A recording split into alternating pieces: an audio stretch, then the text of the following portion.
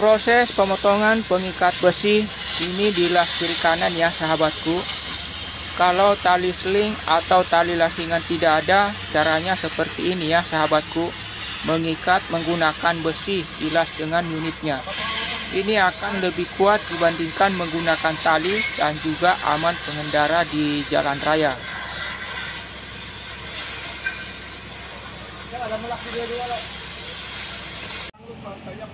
dua Thank you.